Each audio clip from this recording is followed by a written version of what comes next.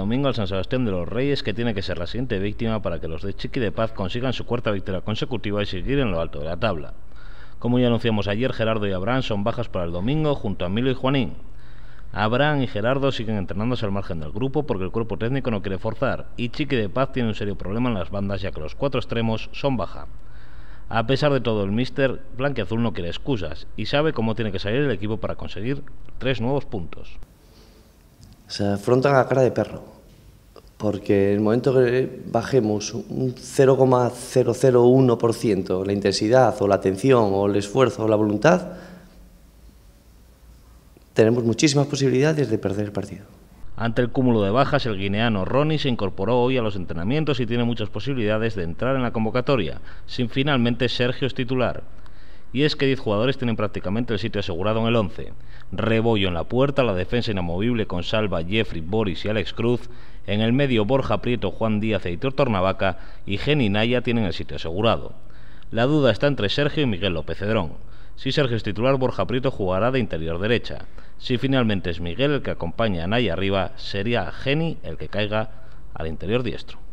Sí, disponible para lo que Chiqui decida, ayudar al equipo en, todo lo que pueda, en la posición que me toque y, si hay que jugar en una posición distinta, no hay problema. Es que Geni ya actuó en la derecha en Valdebebas y a pesar de no estar al 100% aún, el 23 blanquiazul ya va cogiendo la forma a la que quiere llegar.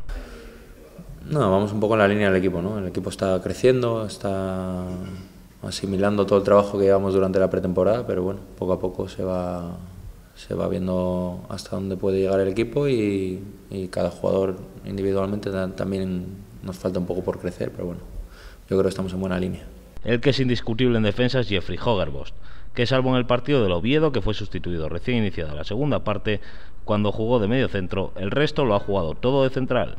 El domingo el y Boris tendrán enfrente a un espigado y experimentado delantero en segunda B como David Sang, pero el holandés no le preocupa en exceso. Sí, bueno, eh, nosotros vamos a tener trabajo o, él. Eso yo creo que no.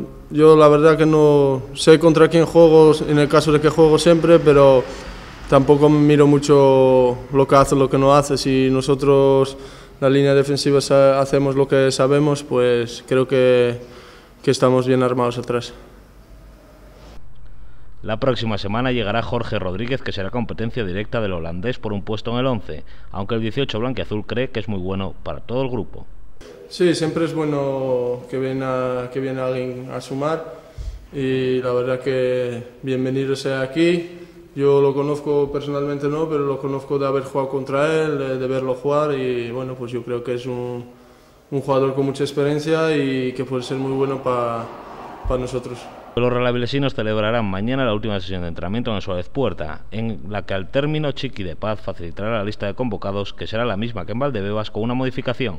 Se caerá Gerardo y entrará Cristian o Ronnie. El partido ante el Sans el domingo a las seis y media de la tarde en el Suárez Puerta.